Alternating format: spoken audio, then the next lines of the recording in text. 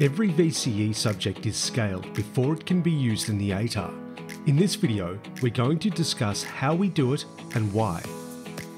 Firstly, scaling is not about how hard or how easy we think subjects are. It's about measuring how competitive each subject is. But what does that mean? Well, first we have to talk about VCE study scores. The first thing to understand about VCE study scores is that they're actually rankings, or relative positions, that measure your performance compared to all other students who took that study. They're reported as a figure between 0 and 50, and 30 is always the average.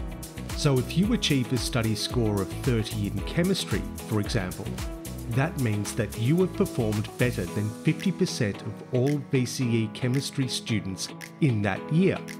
Now, each VCE subject has a unique student cohort.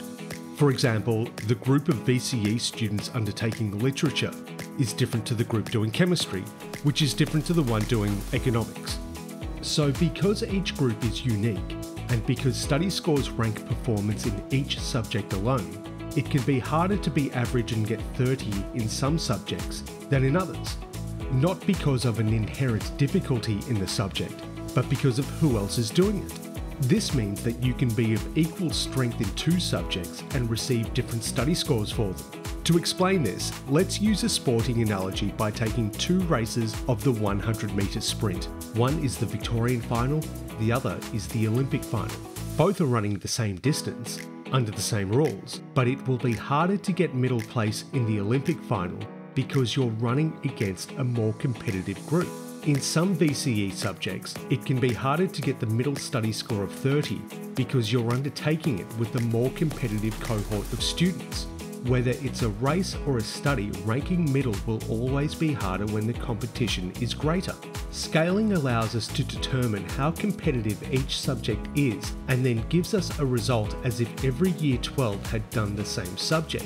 So how do we do it? Using chemistry as an example, we look at all of the VCE students who did chemistry and how they performed in all of their subjects.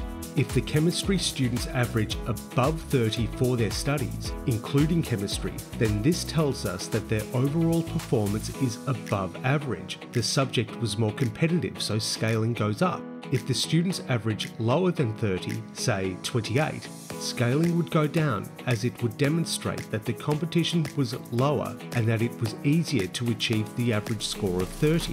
Scaling isn't about individual students or schools either. Subjects are scaled exactly the same for the entire state. With scaling, we can compare each student fairly because it determines that the level of achievement in one subject is the same as every other study.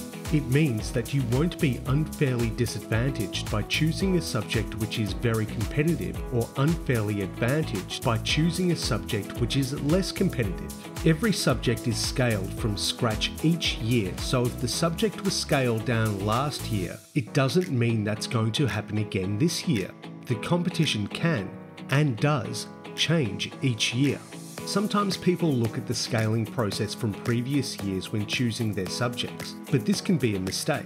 If you choose a subject that you're not good at and don't enjoy just because it was scaled up last year, it's likely that you won't perform very highly and that even after scaling, your overall study score would be lower than if you had chosen a subject that you were good at. The way to ensure that you achieve your best ATAR is to choose studies according to what interests you, what you're good at, what you enjoy, and which studies you need to achieve your future study goals. For more information, visit our website at vtac.edu.au